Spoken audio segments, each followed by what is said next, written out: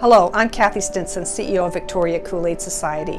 I wanted to reach out and say how grateful I am to you for opening your hearts and donating generously to assist people in need at Cool Aid. Thanks to you, Cool Aid clients won't go hungry during the pandemic. As we continue to navigate these unprecedented times, your support is making a huge difference. In addition to providing weekly grocery store cards, we also provide calling cards so that health center patients can access medical care by phone to encourage social distancing. We couldn't provide these necessities without caring, generous people like you. Thank you for your amazing support and a special thank you to Jim Thompson and Kathleen Brandsma for matching your donations. Take good care of yourselves.